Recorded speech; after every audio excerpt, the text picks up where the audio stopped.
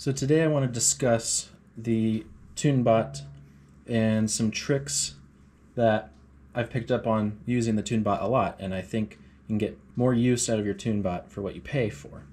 So one thing it's good for is recording the fundamental tone of your drums. For example, this one's 142 hertz. So what is the fundamental tone exactly? It's uh, the lowest frequency component of a complex sound. So when you play like an E on the bass, the fundamental note is an E, but there are several other pitches resonating within that stroke.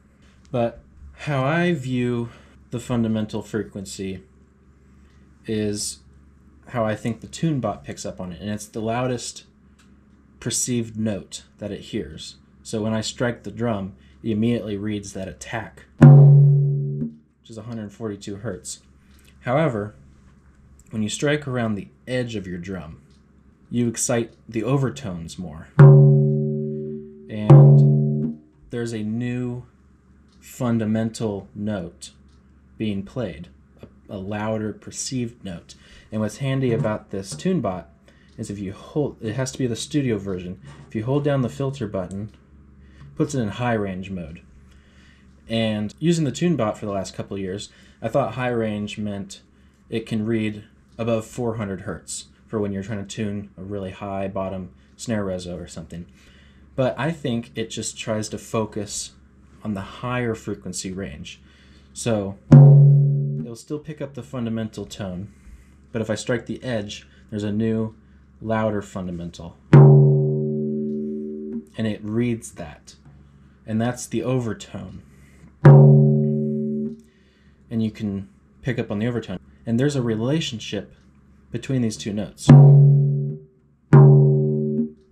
A C sharp to an A, if you divide the overtone frequency by the center fundamental frequency, you get a ratio. And that ratio is your interval. And if you divide these two frequencies, earlier I did the calculation, is about 1.54. If you want to know what a perfect fifth is, it's 1.5. So just above that. Um, now, now, what's cool is you can manipulate this overtone and the relationship with the fundamental note. And this manipulation is how you tune the batter and the resonant heads. Now, if I were to loosen this batter head right now, which I will, it's going to lower the fundamental note, but what will it do with the overtone note?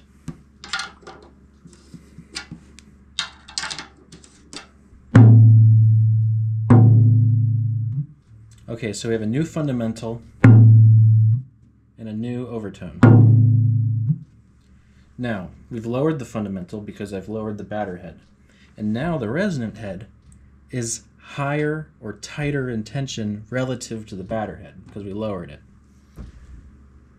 And if you divide these, if you get the ratio between the overtone and the fundamental, it's now 1.17 approximately.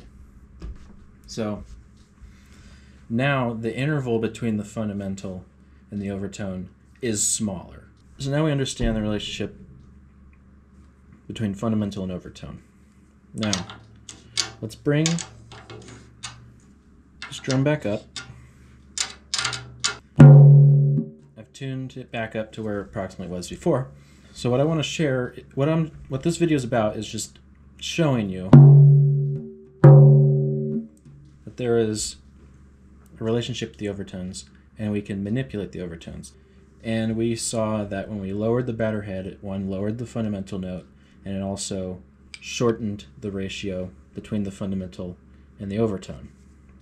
What if we go the opposite way? What if the batter head goes up?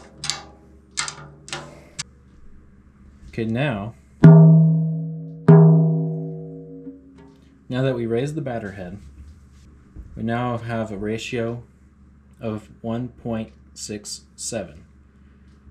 That is the interval ratio between those two frequencies.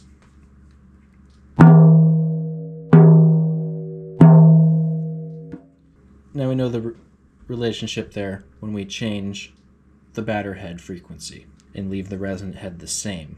The fundamental changes and the overtone changes. Let's bring it back to how it was before.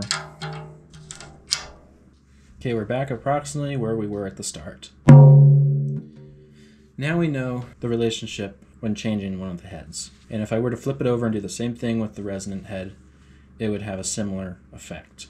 But it would be opposite, because when we lowered the batter head, the ratio between the fundamental and the overtone shortened, and the resonant head was tighter in relation to the batter head. So if we were to lower the resonant head and leave the batter head the same, that's essentially doing the same thing as raising the batter head. You'll lower the fundamental note, but the overtone will go higher when you lower the resonant head.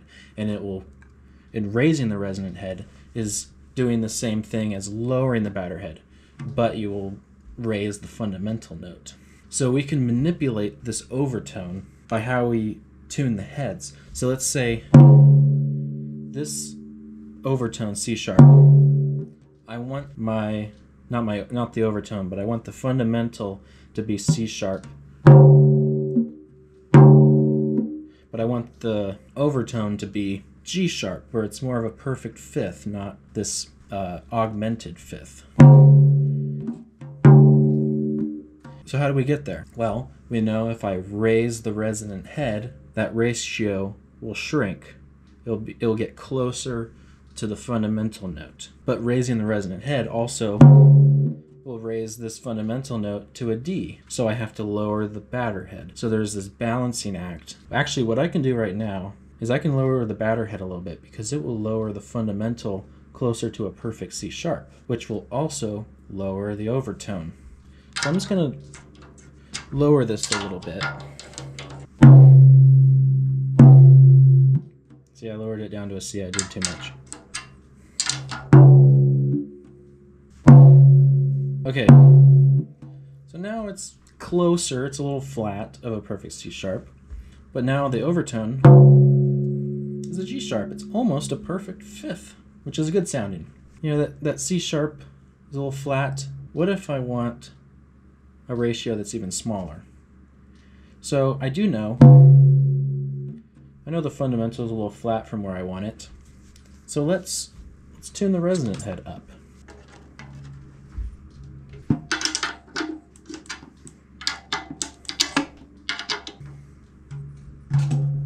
So I've raised the resonant head, which will raise the fundamental note. See, now it's really sharp again. And it raised the overtone a little bit, but it lowered it technically. The overtone increased because I raised the resonant head, but the but, but the ratio between the batter and the overtone has decreased. Hope that makes sense. But I want to keep decreasing this overtone. I want the ratio to be smaller. I want like a perfect fourth or something. I know it's a little sharp, the overtone. It's not the overtone, the fundamental's a little sharp. So I can lower the batter head, which will also lower the overtone, which I want. So let's just do this.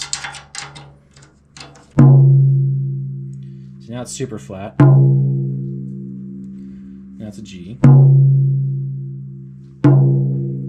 Still not quite a fourth, but the overtone is now a half step lower than it was.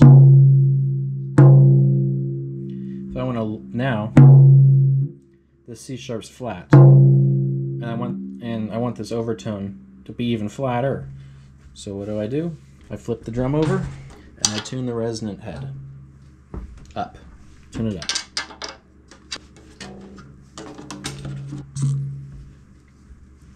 Okay, so I tune the resonant head up.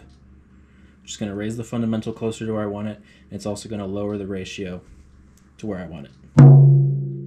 Wow, it's a perfect C sharp. And that's a G, so eh, that's not much lower than I wanted, but I can keep manipulating the heads to get exactly to where I want it. And this is useful if you're trying to build like a very melodic sounding drum set where you can tune your toms to specific fundamental notes, and you can make sure the overtones are tuned in a way where it won't clash with the frequencies of the snare drum and whatnot. So uh, I hope you enjoyed this little lesson. Happy tuning.